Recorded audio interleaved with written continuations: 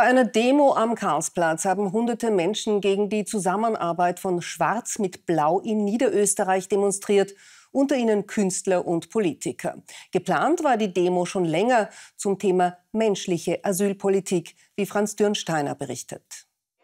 18. März, Tag gegen Rassismus. Aufgerufen zu der Kundgebung hat eine Plattform zivilgesellschaftlicher Organisationen.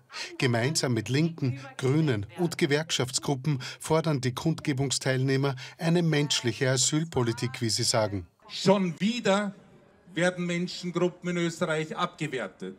Schon wieder werden die Menschenrechte in Frage gestellt. Schon wieder wollen Sie Menschen das Recht auf Asyl verwehren. Im Mittelpunkt der Wortmeldungen steht der schwarz-blaue Pakt, der gestern in St. Pölten geschlossen wurde. Schon wieder sitzt eine Partei in einer Regierung, deren Proponenten den Holocaust leugnen.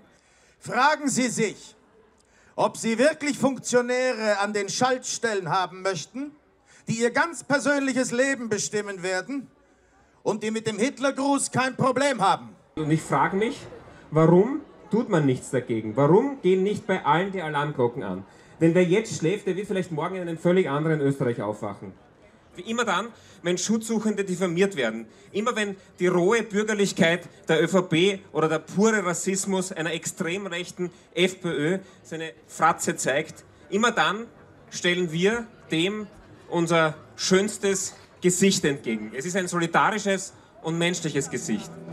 Die Demonstranten hoffen, dass die ÖVP Niederösterreich ihre Entscheidung, mit der FPÖ in eine Koalition zu treten, noch einmal überdenkt.